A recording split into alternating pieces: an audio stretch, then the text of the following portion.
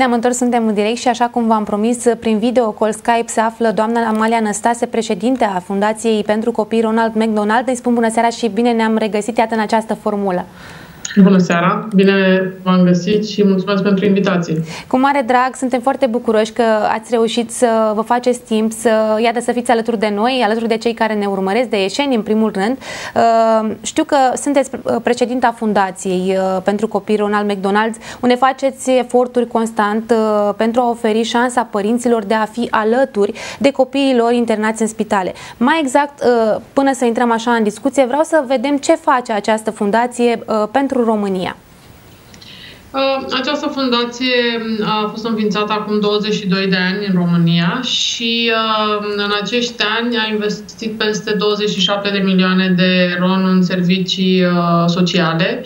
Avem două case, una la București, la Spitalul Grigore Alexandrescu și una la Timișoara, la Spitalul lui Surcanu, care au adăpostit timp de 17 ani și cea din Timișoara este din 2008, au adăpostit uh, preț de 21.000 de părinți uh, și copii uh, care s-au aflat la tratament de lungă durată în spital uh, și acum am vrea ca a treia casă să o construim la Iași.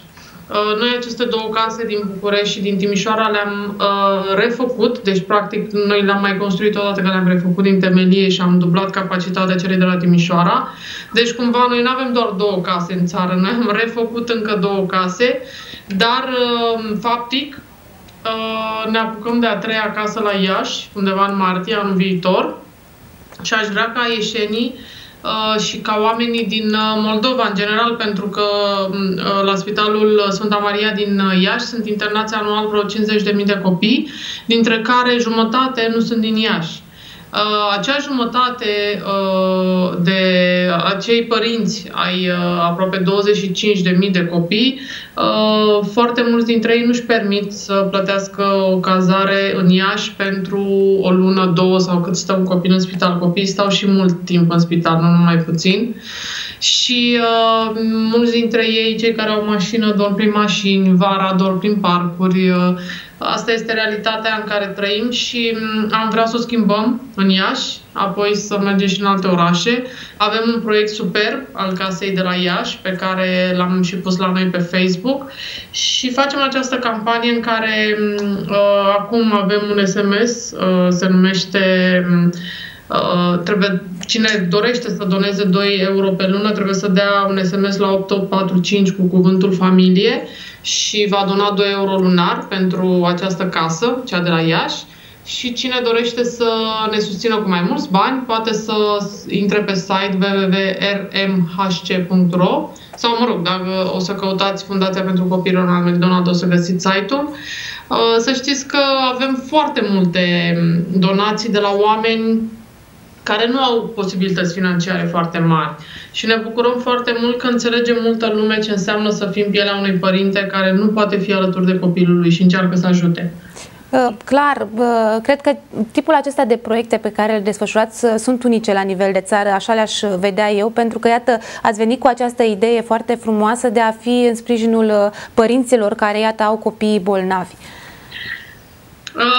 Fundația s-a născut, Fundația Internațională, sub umbrela căreia suntem și noi, s-a născut în 1974 în America. Sunt prezenți uh, în foarte, cred că vreo 60 de țări. Uh, bugetul anual al lor este de vreo 3 miliarde de dolari, deci uh, suntem o fundație extrem de cunoscută în toată lumea.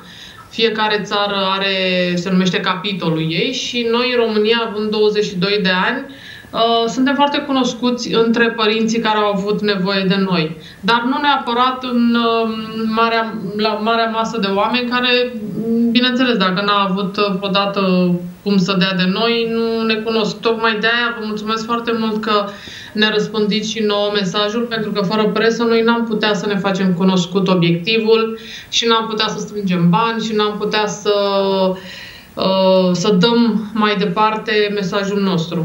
Um, cred că e cumva de datoria noastră morală să fim în sprijinul dumneavoastră și al fundației și uh, de altfel în sprijinul acestor proiecte frumoase pentru ieșeni, pentru comunitate, de ce nu? Spuneați mai devreme că iată aveți deja două case, una la Timișoara și una la București.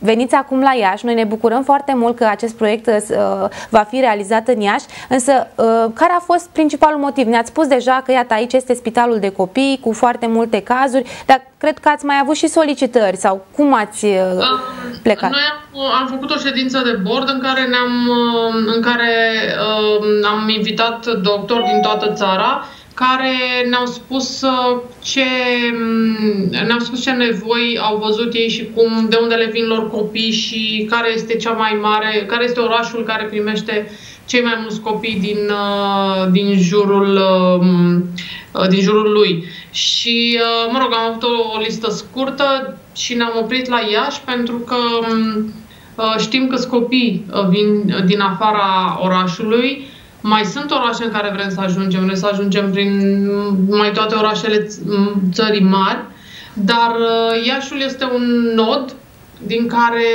toți, majoritatea copiilor din Moldova, dacă li se întâmplă ceva, acolo vin. Și uh, ne-am gândit să fim, suntem la Timișoara, suntem la București și ne-am gândit să fim și în partea cealaltă a țării, ca să putem cumva să ne răspândim uh, cât de cât uh, echidistant față de București și să avem uh, această casă care va avea 19 camere, să deservească aproape 1000 de părinți și copii anual, să ofere peste 5.000 de nopți de cazare gratuită către acești părinți, Uh, noi, în perioada pandemiei, uh, am oferit cele două case uh, spitalului doctorilor și personalului medical din Spitalul Grigore Alexandrescu și din Spitalul lui Isturcanu în timpul lockdown-ului ca să le folosească câte 14 zile cât stăteau și nu mergeau acasă. Deci am, ne-am depășit puțin obiectivul și am încercat să ne implicăm și noi cum putem să ajutăm în uh, uh, timpurile astea pe care le trăim, grele și periculoase. Da, urma să vă întreb ce alte campanii de dotare a secțiilor de uh, spitale de copii ați uh, desfășurat. Iată, știm că ați construit și rol 2 de la Ana Aslan pentru COVID. Acum spuneați că aceste case le-ați uh, dat în folosință celor care au avut nevoie din uh, personalul medical. Medical, da. Uh, am dotat uh, cu foarte multe uh, echipamente medicale uh, Spitalul Grigore Alexandrescu din București de-a lungul anilor. Am, uh, am cumpărat, cred că la început, acum vreo 20 de ani, uh, remeneul de la uh, Spitalul Grigore Alexandrescu. Și acum, în pandemie, am dotat tot așa și lui Sturcanu și am dotat, am donat către cele două spitale foarte multe materiale și desinfectanți și tot ce au avut nevoie, că dacă vă amintiți, la începutul pandemiei era cam Uh, dezastru cu materialele astea și cu măștile și cu combinezoanele și noi ne-am chinuit, am făcut rost și am donat celor două spitale pentru ca medicii și personalul medical să aibă ceea ce le trebuie în, în lupta cu pandemia.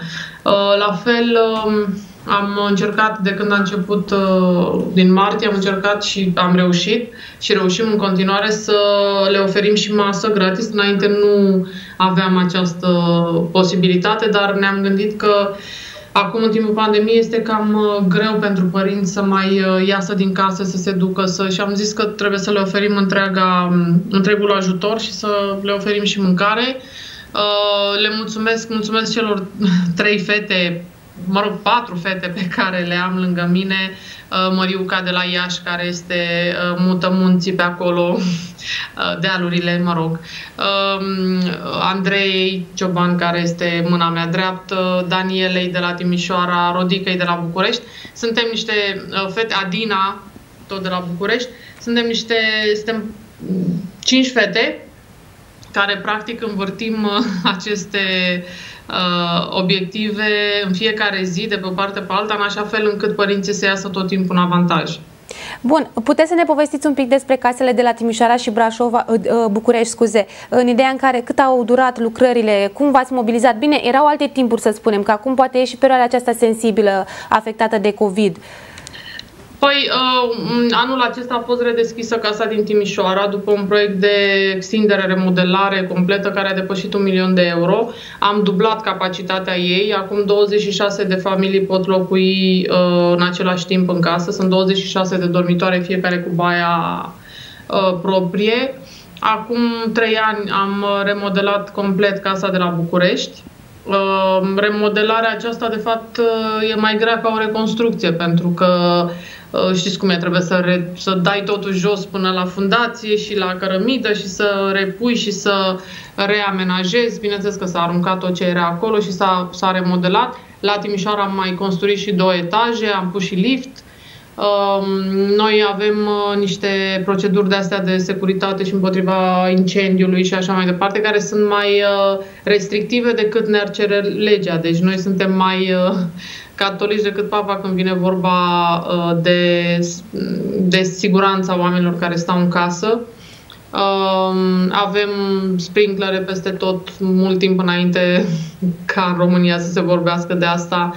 Um, pentru că având foarte multe case în lume, uh, suntem foarte atenți, am învățat foarte mult din tot ceea ce se întâmplă la celelalte case, colaborăm foarte mult cu celelalte case din alte țări. Am uh, trimis în Italia, în Franța, părinți la tratament care au stat la casele de acolo.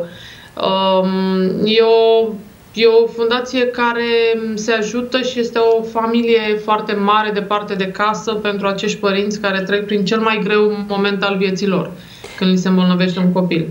Da, pentru că ați menționat acest uh, cuvânt cheie, familie. Uh, ce înseamnă să fii în slujba unui astfel de proiect? Uh, pentru că asta, în contextul acesta cunoașteți familiile, beneficiarii, copiii bolnavi și chiar și povești care sunt foarte emoționante. Ne-am, uh, eu am rămas uh, prietenă cu foarte mulți dintre părinții uh, care, care au trecut pe la noi prin casă pentru că am și ajutat mulți care au avut nevoie de ajutor din străinătate să meargă acolo. Fetele de la casă, cum să zic, ajung cu poveștile acestea la mine când ele nu pot ajuta, când le depășește pe ele și preiau și încerc să-i ajut și pe majoritatea și reușim să-i ajutăm împreună. Uh, și deci am rămas prietene, le știu, uh, le știu uh, creșterea copiilor, pentru că au trecut și am trecut împreună cu ei prin momente grele și acum ne crește inima când îi vedem că uh, se întorc uh, bine și ne salută și mai vedem pe Facebook și copiii s-au făcut mari. Uh, Um, e, te împlinește un, un asemenea, o asemenea relație cu acești părinți și copii. Um, noi um, încercăm să le facem șederea în casă cât mai uh, benefică pentru ei, pentru că nu doar stau într-o cameră singur, ci uh, cumva intră în familia asta mare Ronald McDonald în care mai toți părinții au aceeași problemă și în care noi încercăm să-i ajutăm cât putem mai mult. Și ei se simt mai relaxați, mai, cum să spun, fiind cu alți părinți ca și ei, au cu cine să împărtășească uh, experiența prin care ei trec și ajută foarte mult lucrul ăsta. Îmi imaginez că dorința dumneavoastră este foarte mare de a reuși să faceți această casă la Iași cât mai repede, însă cum decurg lucrurile, cam care sunt termenii dacă e să discutăm despre lucruri uh, de bază? Păi stați puțin, că noi de 2 ani jumate ne-am apucat de ea, dar a durat uh, permisul de construcție, care este gata. Dacă eram în vară, ne apucam de construit, dar acum venind iarna nu ne putem apuca, deci de-aia ne, ne apucăm în martie. Uh, tocmai uh, de asta facem apelul la 8845 cu cuvântul uh, familie pentru cei 2 euro lunar ca până în martie să avem strânși absolut toți banii necesari pentru începerea construcției. Noi vom începe construcția în martie. Nu exista vreodată să nu strângem banii. Dar aș vrea să fie cu ajutorul um, ieșenilor, a moldovenilor, care vor beneficia de, de această casă. Nu se știe niciodată ce se întâmplă cu, cu noi toți și atunci trebuie să știm că am făcut un bine la un moment dat care ne poate servi prietenilor, nu știu, cunoscuților, și așa mai departe. Facem un exercițiu de imaginație și ne gândim că deja casa este gata, totul este în regulă. Cum uh, o descrieți? Cum va fi acolo? Um, casa se pot, puteți vedea randările la noi pe Facebook dacă vă uitați, să vedeți exact cum va arăta. V-am spus, va avea 19 camere. Uh, va fi o, o, cam, o um, cameră de conferință mai mare, mai mare în care se pot uh, Uh, face cursuri pentru copiii care pot veni în casă, pentru că sunt mulți copii care și vin și stau cu părinții în casă, nu stau numai internați, care au tratament, uh, eu știu, zilnic și atunci ei pot să vină și stau cu părinții în casă. Pentru ei, noi uh, încercăm să le oferim ajutor cu școala online și așa mai departe, pentru că mai ales că trecem prin, prin această perioadă atipică în care toată lumea trebuie să facă școala online, toți copiii. Pentru ei vă dați seama că e cu atât mai greu cu cât sunt și bolnăviori și va fi o casă mai modernă, cu loc de joacă mai mare pentru toți copiii, cu această cameră de conferințe care poate servi și părinților, uh, bucătăria foarte mare în care se va găti împreună, bineînțeles când vom scăpa de această pandemie, pentru că acum sunt alte reguli datorită pandemiei, se, cumva părinții nu prea se mai întretaie cum cum era în timpurile normale, dar sperăm că vom scăpa și de această perioadă și ne vom reîntoarce la obiceiurile noastre dinainte, în care părinții se întâlneau seara, găteau împreună, le găteam noilor o dată pe săptămână. Uh, sperăm să ajungem din nou cum eram înainte. Iată, gesturi de prietenie le-aș numi, chiar dacă poate nu se știau între ei sau nu vă cunoșteați dinainte. Uh, ați menționat mai devreme că ne putem implica, iată, făcând această donație de 2 euro lunar cu uh, textul familie la 8845, însă cum se poate implica întreaga comunitate, nu numai din Moldova, chiar și din întreaga țară? Mă refer aici la companii, la voluntari, la donatori individuali. Păi, pe site la www.rmhc.ro acolo sunt toate posibilitățile de, de implicare pe care noi le, le, le așteptăm de la, și de la companii. Companiile ne-au ajutat foarte mult și pe noi. Avem donații foarte mari și generoase de la companii. Um, bineînțeles că suntem mereu suntem uh, ajutați și de compania pe care o știm cu toții uh, și e cumva sprijinul nostru dacă cumva ni se întâmplă vreodată să rămânem fără bani, uh, mergem la ei. Um, și uh, oamenii pot să... Uite, acum vin sărbătorile. Noi avem părinți în casă și de 1 decembrie. Am avut uh, familii și în casa de la București și în casa de la Timișoara. Uh, Uh, cine poate trimite, nu știu, alimente, alimente care sunt, bineînțeles, în termen de garanție și așa mai departe. Uh, adică, vreau să zic, alimente uh, ambalate, sigilat. Sunt foarte multe lucruri pe care le poți face pentru părinții care sunt în casă.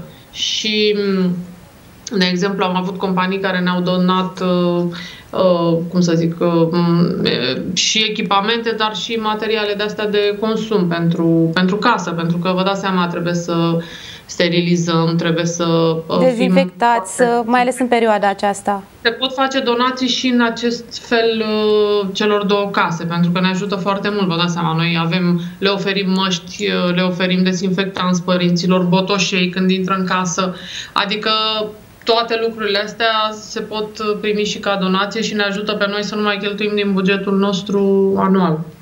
Vreau să amintim un pic și partenerii, uh, spitalul, autoritățile locale și cine mai e implicat în, în acest proiect. Uh, am, uh, am lucrat îndeaproape, bineînțeles, cu spitalul, pentru că noi construim casa pe terenul lor. Uh, au fost foarte dornici, bineînțeles, să ne ajute, pentru că îi ajutăm foarte mult cu, cu această casă. Uh, Uh, autorizațiile de construcție, vă dați seama că știți cum e, că durează o grămadă de timp și n-am avut probleme cu ele, dar durează, n-ai ce să le faci. Am colaborat foarte bine cu autoritățile.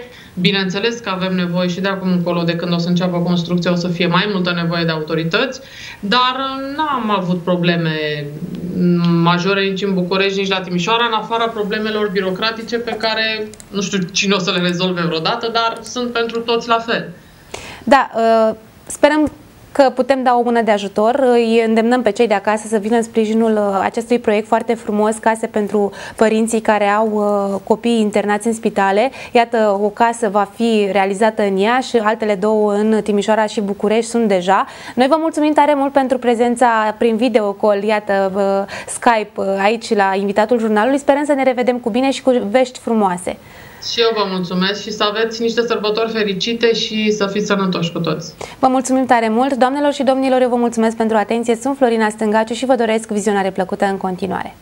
Serviciile de înfrumusețare pentru prezentatoare au fost asigurate de Rain Salon.